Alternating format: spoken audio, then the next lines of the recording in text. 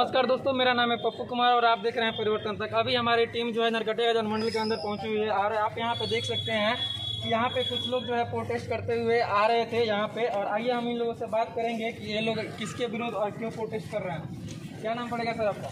हाँ, हमारा नाम हुआ मुख्तार मियाँ प्रोटेस्ट आप लोगों को यहाँ पे इस करने का क्या ये अनुमंडल पदाधिकारी के समक्ष हम आज जो है तीनों अनुमंडल पर ज़िले के कर रहे हैं। जी। क्योंकि जी।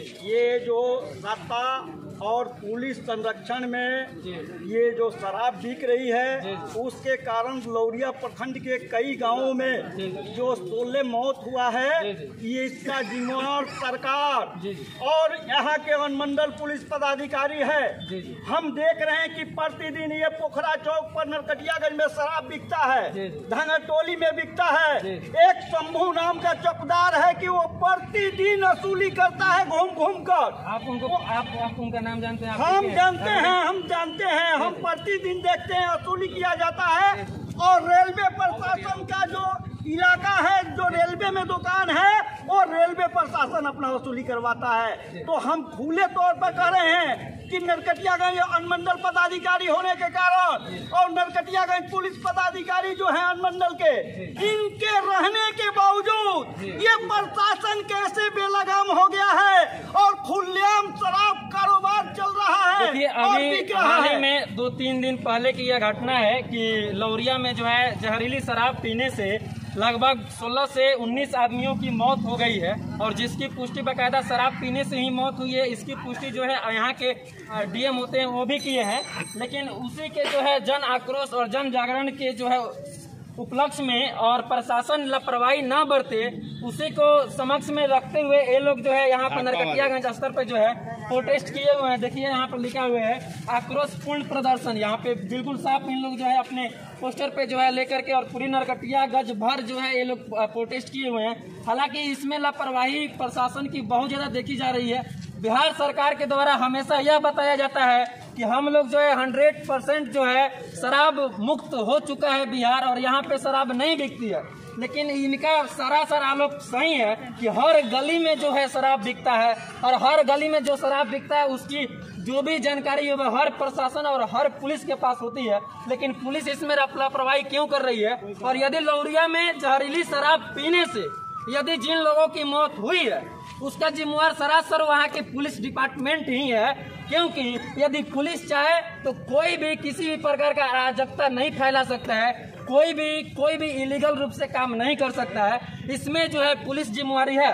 लेकिन लौरिया में जो है, यहाँ के जो नजदीकी एसपी हैं और जो डीएम है अपने वेस्ट चंपारण के, उन्होंने लौरिया थाना में एक चौकीदार को ओनली फॉर सस्पेंड करके और वे अपने पावर का जो है अवहेलना की और उन्होंने दिखाया कि हम जो है कितना तक कार्रवाई कर सकते हैं। और लेकिन वहाँ पे कोई भी बड़े पदाधिकारी को सस्पेंड नहीं किया गया सिवाय एक चौकीदार के अलावा। आप बताइए कि लौरिया के ही बहुत लोग मरा है या आसपास में और कौन कौन से गाँव लौरिया प्रखंड के खेलपुर गाँव है केउरुआ है और गौनाहा है बसवरिया है और सरिया है रामनगर थाने हैं और लौरिया है कि ये लोग उसमें बारह लोगों को अभी तक एफ़ आई आर लिया गया है और कई लोगों को मौत हो चुका है मगर प्रशासन लगा है कि लीपा पोती कर दिया जाए राफा बराबर कर दिया ताकि जो लौरिया थाना अध्यक्ष और प्रशासन और चौकीदार को बर्खास्त करके ये सरकार चाह रहा है कि हम लोगों के बीच में अपना साफ़ सुथरा छवि दिखाएँ ये जब तक उसके ऊँचे तल ये जाँच नहीं होता है और यहाँ के जो बड़े पुलिस पदाधिकारी है, उन पर कार्रवाई नहीं होता है, तब तक भाकपा माले जो है, ये पूरे ज़िले में आंदोलन चलाकर इनके खिलाफ जो है, ये सख्त आंदोलन करते रहेगा जब तक इतनी बड़ी लापरवाही कर रही है जो है यहाँ पे भाजपा माले के द्वारा जो है किया गया है और पूरे जिला स्तर पर ये लोग प्रोटेस्ट कर रहे हैं और मांग कर रहे हैं कि इस जो मौत हुई है जहरीली शराब पीने से, इसके पीछे का सबसे बड़ा किसका हाथ है उसको जो है बर्खास्त किया जाए और उसको उसके पद से हटाया जाए और जो लोग मरे हैं उनको जो है एक जो मुआवजा दिया जाए और उनको जो है सही से उनको इंसाफ दिया जाए। और भी कार्य करता है। आइए हम उन लोगों से बात करते हैं। आपका नाम क्या पड़ेगा?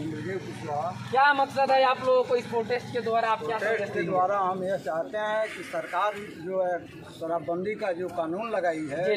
यह एक खानापुरी है जो कल तक शराब जो दस रुपया में लोगों का काम चलता था सौ रुपया में बिक रहा है। सीधे शराब वालों का दुगुनी आय हो। गई है लेकिन आम जनता बिल्कुल बचा है।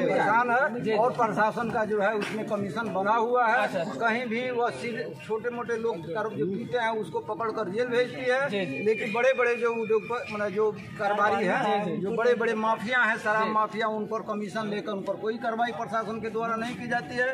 प्रति माँ हर थाना को उसके द्वारा अनुमंडल पुलिस पदाधिकारी के यहाँ सब कमीशन यहाँ से लेकर एसपी तक सब कमीशन जाते हैं। जी और लोग भी जो है इस जो प्रोटेस्ट से जुड़े हुए हैं आपका नाम क्या पड़ेगा? क्या मकसद है आप लोग पूरे ये नरगटियागंज में जो आप प्रदर्शन कर रहे हैं कटियागंज है तो हमारे इसलिए हम लोग लौरिया ही लौरियागंज में ही नहीं ज़िले के तीनों अनुमंडल में आज हम लोग प्रोटेस्ट कर रहे हैं? आज ये प्रोटेस्ट हम लोग का रुकने वाला नहीं जब तक ये जो जो मांगे हमारी पार्टी के लोग हमारे भाजपा माले के लोग उठाए हैं जी, जी। उस उसके मुद्दा पर जब आप अपनी मांग को यदि हमारे समक्ष रख सके तो बोलिए। हम लोगों का मांग है कि जहरीली शराब से दे दीजिए दे दीजिए। जो लोग मरे हैं उनके आश्रितों को सरकार दस दस लाख रुपया मुआवजा दे। और ये जहरीली शराब जो बिक्री करवाने वाले जो प्रशासन है यहाँ के S D P O ji यहाँ के पुलिस पदाधिकारी हैं जिनके संरक्षण में पूरे क्षेत्र में हर जगह दारू शराब का कारोबार चल रहा है इस पर उन्हें उचित कार्रवाई किया जाए इनको नौकरी से जो है सस्पेंड किया जाए और इन पर जो ऐसा कार्रवाई किया जाए ताकि एक मिसाल बने फिर दोबारा ये घटना नहीं हो कि जहरीली शराब से देखिए इनकी लोगों का जो भी मांगे हैं आप दिखाइए एक आप पर्ची लिए हुए थे। देखिए इनकी जो मांगे हैं वो सारे इसमें जो है ये लोग दर्शाए हुए हैं। देखिए इसमें लिखा गया है आप कैमरा में इसको रखिए पहले। नरकटिया अनुमंडल क्षेत्र में जहरीली शराब से हुई जनसंहार से जिम्मेदार अनुमंडल पदाधिकारी को अब विलम्ब जो है बर्खास्त किया जाए, इन लोगों की मांग है। लौरिया रामनगर थाना क्षेत्र में जहरीली शराब से हुई जनसंहार, पीड़ित परिवार को दस दस लाख रुपया की मुआवजा दी जाए, वो भी गारंटी के साथ, ये भी इन लोगों की मांग है।